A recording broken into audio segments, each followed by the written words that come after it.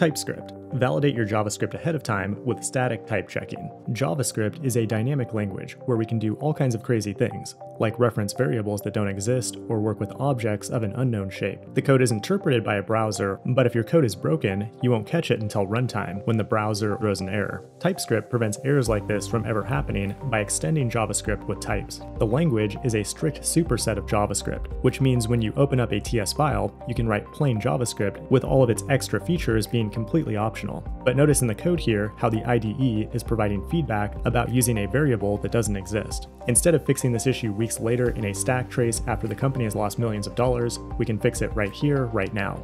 The reason we get this instant feedback is because TypeScript behaves like a compiled language, where JavaScript is the compilation target. You can run the TypeScript compiler using the tsc command. It will take the TS file and transpile it into vanilla JavaScript, and you can choose any flavor of JavaScript you want if you need to target ancient browsers. And that means you can use the latest and greatest syntax features of JavaScript without having to worry if they'll be supported in an older environment. Your TypeScript project will likely have a tsconfig file, which provides an infinite number of ways to customize the behavior of the compiler. But the primary goal of TypeScript is to enable static typing. One way it achieves that is by allowing you to annotate your code with types. We can strongly type a variable using a colon followed by its type, like a string, boolean, or number. That's known as an explicit type.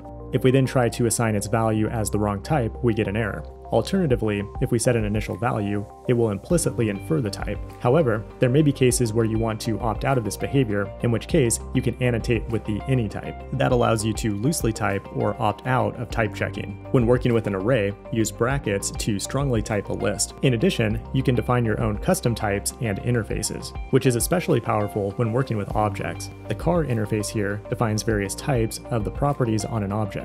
We can then apply the interface to a plain JavaScript object. The beauty of having strongly typed code is that we get autocomplete everywhere in our IDE. We don't have to jump back and forth to documentation or dig through stack traces to figure out why our code's not working. If you like TypeScript as much as I do, consider becoming a pro member at Fireship.io. For the next few days, everything will be 40% off, including lifetime memberships. Thanks for watching, and I will see you in the next one.